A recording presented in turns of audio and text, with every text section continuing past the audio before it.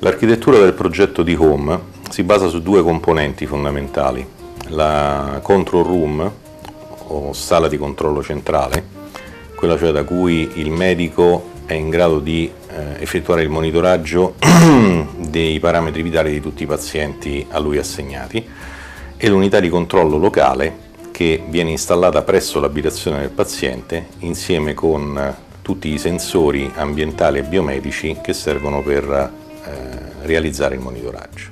Il progetto di Home prevede che i sensori che vengono installati presso l'abitazione del paziente possano utilizzare sia la tecnologia wired, quindi un collegamento attraverso un cavo per la trasmissione del segnale, sia la modalità wireless, cioè senza fili, utilizzando tutte le tecnologie attualmente disponibili da Wi-Fi a RF a ZigBee questo al fine di limitare l'invasività dell'installazione per il paziente stesso. Andiamo ad esaminare ora come il medico, attraverso l'interfaccia presente nella control room, quindi nella sala di controllo centrale, può effettuare il monitoraggio del paziente. Questa è la schermata che si presenta al medico una volta che si è loggato al sistema col proprio username e password. Nella parte alta troviamo l'ID del medico che sta lavorando l'ID del paziente che è stato selezionato, lo stato del sistema e la versione di sistema operativo su cui eh, sta mm, operando il medico. Questo è importante perché eh, il medico può operare anche da diversi dispositivi, per esempio anche in mobilità, quindi queste stesse funzionalità gli sono disponibili anche per esempio mentre sta viaggiando o comunque quando è fuori dal suo studio ci sono una serie di icone che rappresentano eh, la situazione del, del sistema. L'icona con l'abitazione vuol dire che è stata rilevata una presenza del paziente all'interno dell'abitazione, quindi il paziente è in casa. Se il paziente non fosse in casa l'icona sarebbe grigia. Eh, l'icona del telefono rappresenta la connessione del paziente con un sistema eh, VoIP, quindi il sistema è anche predisposto per effettuare telefonate eh, in caso di allarme oppure per ricevere chiamate e smistarle direttamente sull'interfaccia eh, disponibile al paziente. L'icona con eh, la bustina rappresenta il collegamento con un sistema di eh, mailing. L'icona verde che rappresenta una telecamera eh, significa che tutte le telecamere che sono state installate presso l'abitazione del paziente sono correttamente funzionanti. L'icona che rappresenta il fuoco significa che ehm, è stata rilevata una fuga di gas, eh, l'icona con la goccia eh, rappresenta per il rischio di allagamento. Su, in questa finestra viene mostrato al medico il live monitor del, dell'ultima zona dell'abitazione in cui è stata rilevata la presenza del paziente. Nella parte bassa dello schermo viene rappresentato lo stato delle terapie che sono state schedulate, sia terapie farmacologiche che analisi remote. Nel caso in cui qualche analisi fosse stata saltata, eh, verrebbe segnalato qui, in modo che il medico può effettuare le, le operazioni che poi ritiene opportune. Andiamo ora a esaminare le altre funzionalità disponibili al medico. Il medico può operare su una da serie di dati anagrafica del paziente. In questa schermata vediamo la parte di dati anagrafici. È importante notare che eh, il paziente viene eh, profilato nel momento in cui si decide l'installazione presso la sua abitazione del, del sistema di home. Tornando alla parte di dati medici, andiamo ad esaminare l'anamnesi fisiologica del paziente. In questo caso eh, viene riportata la data della prima visita, eh, le informazioni che il paziente ha dichiarato in fase di anamnesi, attività fisica, uso di alcol, fumatore, eh, nel caso di pazienti di sesso femminile ci sono una serie di informazioni tipiche, eh, data del primo menarca, menopausa, eventuali gravidanze, parti, aborti e così via. Proseguiamo sempre all'interno dei dati medici con l'anamnesi patologica. Anamnesi patologica che riporta eh, tutte le patologie che il paziente ha indicato. Sempre proseguendo la carrellata arriviamo all'analisi patologica dei familiari. Qui sono riportati per ciascun familiare le eventuali patologie che il familiare ha dichiarato. Passiamo ora alla parte di schedulazioni. Come accennato in precedenza, il medico ha la possibilità di effettuare per ciascun paziente la schedulazione di terapie o di analisi. Questo vuol dire, nel caso per esempio delle terapie che esaminiamo per prima, che il medico può specificare che il paziente deve assumere un determinato farmaco in determinati giorni a determinate ore.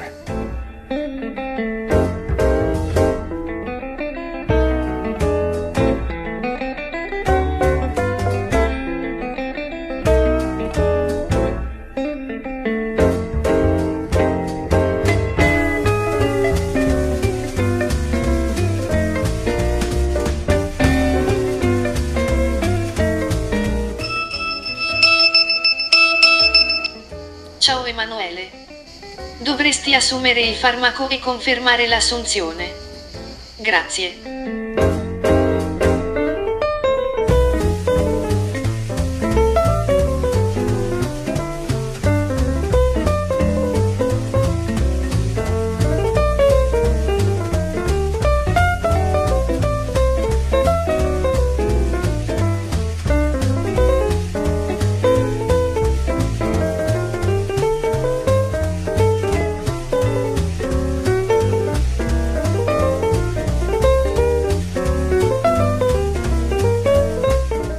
Sempre relativamente alle schedulazioni, la stessa cosa vale per le analisi che devono essere effettuate mediante i dispositivi biometrici installati presso l'abitazione del paziente. Nel caso del dimostratore di home abbiamo installato un pulsossimetro che è in grado di rilevare la percentuale di ossigeno nel sangue del paziente e il eh, numero di battiti in tempo reale.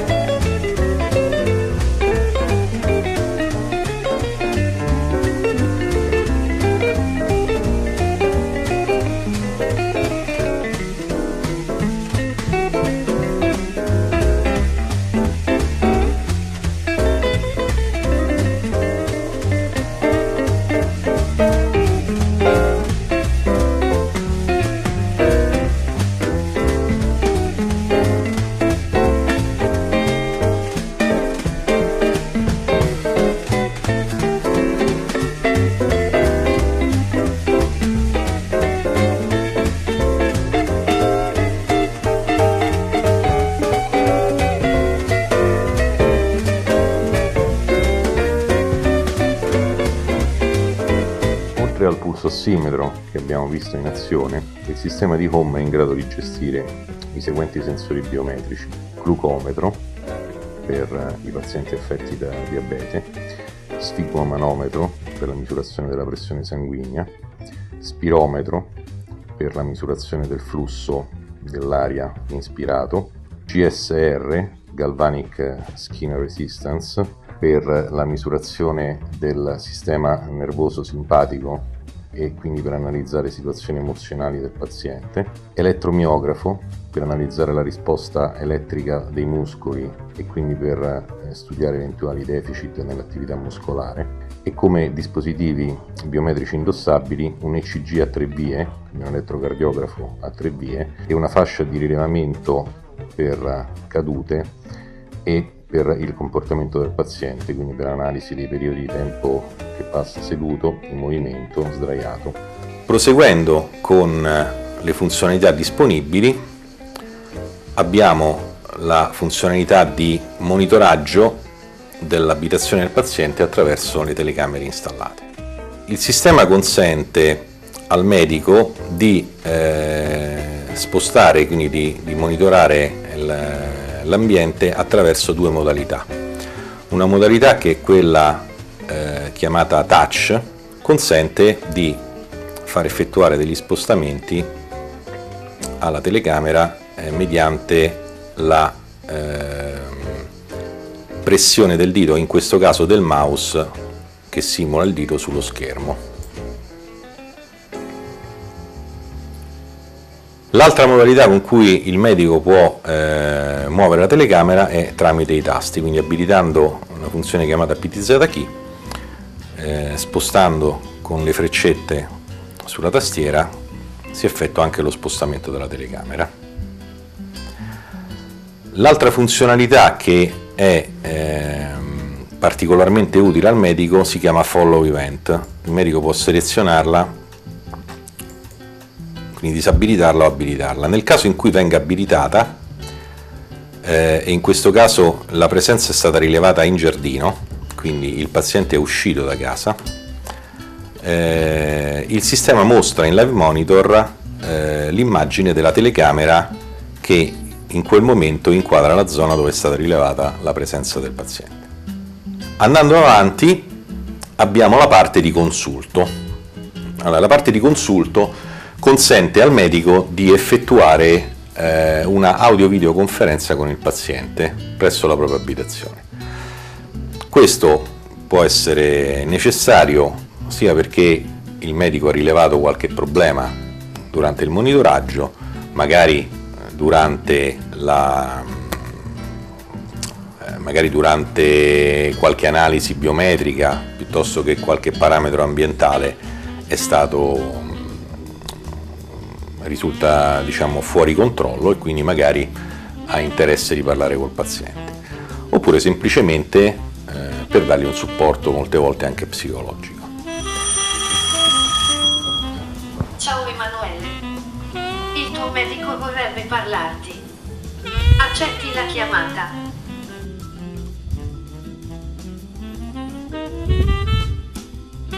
La videochiamata inizierà a breve. Attendi qualche istante. Grazie. Dica dottore. Buongiorno. Buongiorno. Senta, la chiamavo perché ho notato nell'ultima analisi che le sue pulsazioni erano un po' alte. Sì, Volevo solo sincerarmi che se fosse, eh, stesse bene. sì, sì, è solo dovuto al gran caldo che fa e poi ancora non ho mangiato. Ho capito. Allora sono contento. Io le consiglio di farsi un, una rinfrescante pranzo. Grazie, arrivederci. Arrivederci a lei, buona giornata. Arrivederci.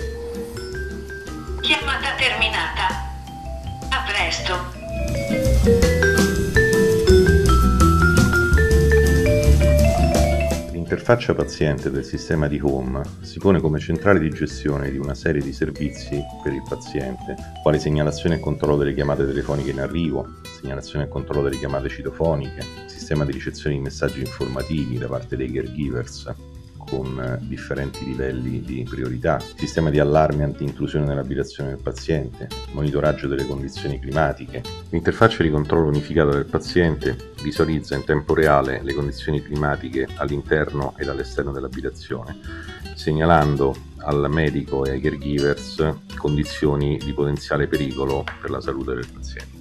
Il sistema di home è integrato con il telefono VoIP installato presso l'abitazione del paziente. All'arrivo di una telefonata il paziente viene informato mediante avvisi luminosi ed acustici e gli viene mostrata una schermata che se il chiamante è presente nella rubrica del paziente ne visualizza anche un'immagine per consentire una più facile identificazione. Allo stesso modo, all'arrivo di una chiamata citofonica, il paziente viene informato attraverso delle segnalazioni luminose ed acustiche la telecamera esterna viene automaticamente posizionata ad inquadrare l'area citofonica e l'interfaccia del paziente gli presenta una immagine di chi sta suonando in quel momento il citofono con la possibilità anche di aprire il cancello direttamente dall'interfaccia tablet. Attraverso il sistema di control room i caregivers possono inviare all'interfaccia del paziente dei messaggi per informarlo di situazioni di suo interesse o di potenziale rischio per la sua salute. I messaggi possono avere tre tipi di priorità, normale, importante e urgente. Per i messaggi di livello urgente, magari relativi a avvisi di calamità naturali o altre situazioni di potenziale pericolo, il sistema, dopo aver informato l'utente, propone al paziente se eh, è necessario informare i suoi familiari per avere del supporto. Altra funzionalità del sistema è quella che viene chiamata la parte di control room, ovvero sia di monitoraggio e gestione eh, dei parametri di sensoristica e degli attuatori installati presso eh, l'abitazione del paziente. Presso l'abitazione del paziente non sono installati soltanto dei sensori, quindi strumenti in grado di rilevare dei parametri o ambientali o biometrici, ma anche degli attuatori, ovvero sia strumenti di, in grado di effettuare delle operazioni, quali ad esempio accensione di luci, aperture di porte, accensione di pompe di drenaggio e così via. Abbiamo la funzionalità di monitor ambientale a disposizione del, del medico. La funzionalità di monitor ambientale fondamentalmente visualizza lo stato dei sensori all'interno dell'abitazione. Quindi ci dice i sensori di movimento installati, se eh, c'è qualche segnalazione, ci dice se ci sono state delle aperture di, di porte tramite sensori magnetici, ci dice temperatura, umidità esterna, eh, interna e grado di luminosità. Il medico, come dicevo prima, può anche intervenire su degli attuatori ambientali tramite la parte di management di device ambientali viene visualizzato l'elenco di tutti gli attuatori disponibili con lo stato di ciascuno degli attuatori. Il medico può effettuare dei comandi su questi attuatori. Altra funzionalità che il medico ha è quella, nella parte di management, è quella della gestione dei device medici. Abbiamo visto in precedenza che il medico eh, schedula tendenzialmente una serie di analisi che vengono effettuate dal paziente. Il medico ha la possibilità anche di forzare in tempo reale un'analisi, nel senso chiedere al paziente di indossare lo strumento di relazione biometrico e di forzare, quindi di acquisire in tempo reale al di fuori delle schedulazioni i parametri vitali.